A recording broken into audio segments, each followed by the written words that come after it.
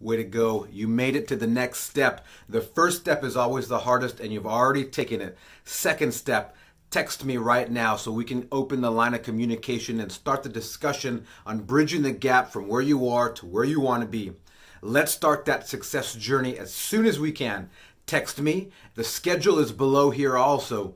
Pick what works best for you, the mornings or the evenings. What can you stick to? What can you be consistent with in terms of working out?